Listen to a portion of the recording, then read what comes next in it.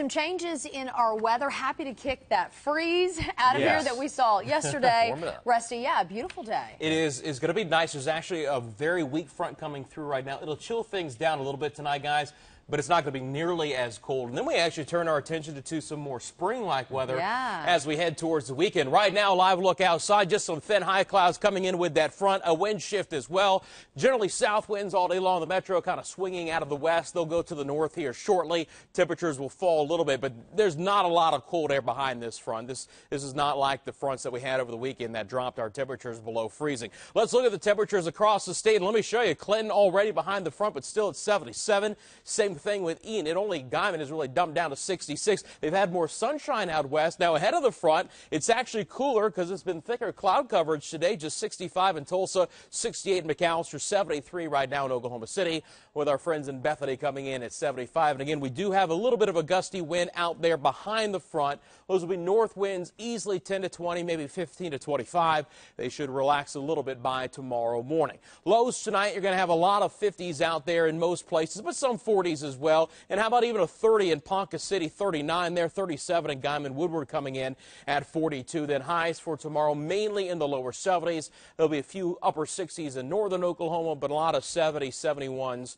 and 72s across the board. So this very weak front will settle just south of the Red River. We'll see some clouds thicken up with it through the day tomorrow. You'll start off with a lot of sunshine, but clouds will increase all day long, especially in southern Oklahoma. A little bit of moisture will be squeezed out of this. So in the southern third of the state, there might be some light rain overnight into Thursday morning. A break in the action on Thursday, but then as we head into Thursday evening and Friday, a warm front will lift north through the state, and this will promote a zone of enhanced shower and thunderstorm activity. There could be some heavy rain along this front. This is the first wave of rain. The second wave will come in on Saturday with that potent storm system as we head through the day. It's all the way offshore right now. It's going to crash onto the California coastline. They kind of meander through the four corners, head up probably somewhere into the southern plains. Now, on Friday, the stormiest weather will be north of this front. There might be some severe weather north of that front, but I think right now most of that will be into portions of Kansas. On Saturday, the front in the system will be probably up in Nebraska. This area in yellow right now from the Storm Prediction Center is the enhanced area for some severe weather.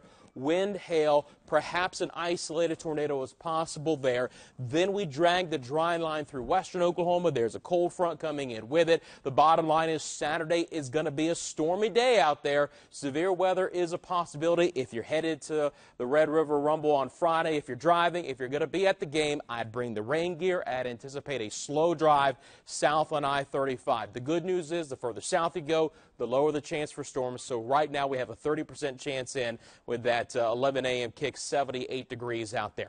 But again, Friday, Saturday, could be heavy rainfall, could be some severe weather. There'll be some changes to the forecast since we're still three, four days out. We'll keep a close eye on it. Look how warm those lows are, guys. Forget the 30s. Lows will actually be in the 60s Friday and Saturday.